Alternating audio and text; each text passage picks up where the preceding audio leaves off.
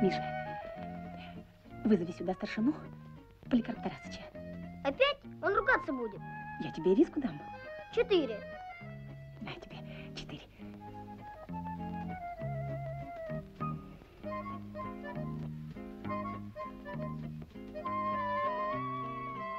Сколько раз тебе говорил?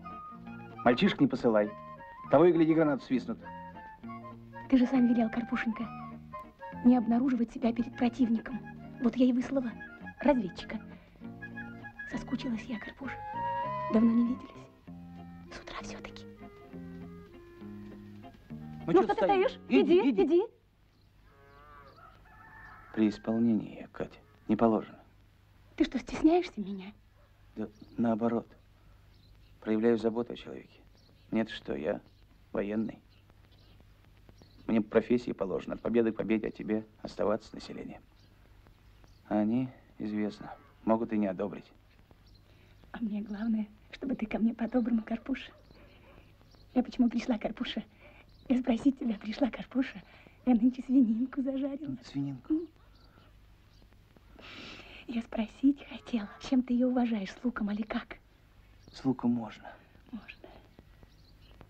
А вот приходить тебе сюда все-таки не надо. Женщинам здесь не положено. Не положено. Нет. А почему? Положить некуда. Нет. Нет. Не поэтому не положено, а потому что здесь материальная часть, а женщина, она ведь не материальная. Не материальная. Нет, А какая же? духовная. Духовная. Ну, приходи пораньше. Как стемнеет. Дела. Дела. Устал ты, Карпуша, рыбка моя. Ну опять ты за свое. Какую идти рыбку? Товарищ старшина, разрешите обратиться? Разрешаю. Курсант Тарасенко для получения белья прибыл. Вас понял, вольно.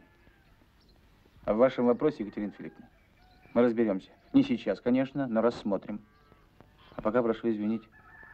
Служба. Служба. О, Мишка. Мишка. Мишенька. Служба. Лям-пам.